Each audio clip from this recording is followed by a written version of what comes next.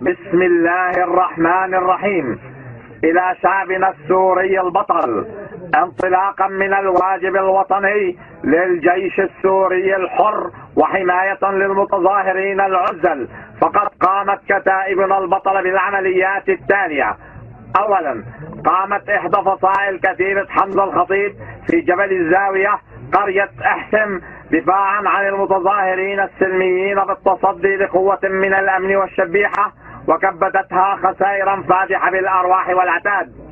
ثانيا قامت إحدى فصائل الله أكبر في مدينة البوكمال بالتصدي لقوة من الأمن السياسي أثناء قيامها بقمع المتظاهرين وكبدتها خسائرا في الأرواح والعتاد.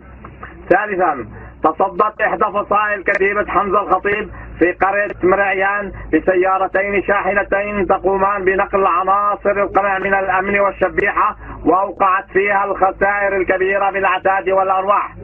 رابعا قامت إحدى فصائل كتيبة حمزة الخطيب في قرية الجانودية بالتصدي لحملة الاعتقالات التعسفية والنهب والتخريب لممتلكات الشعب الأعزل وأوقعت فيها خسائر فادحة بالأرواح والمعدات.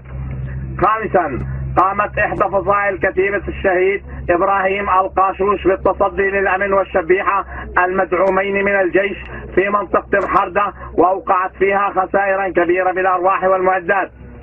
إن الجيش السوري الحر يعاهد الله ويعاهدكم على المضي في التصدي لعصابات بشار الأسد وزبانيته من الأمن والشبيحة ومن باعوا أنفسهم من الجيش حتى سقوط نظام هذا الطاغية الخائن لله والشعب